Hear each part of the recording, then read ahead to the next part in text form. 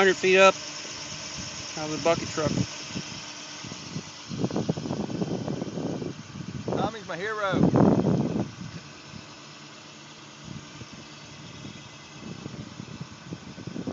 Overlooking Charlottesville.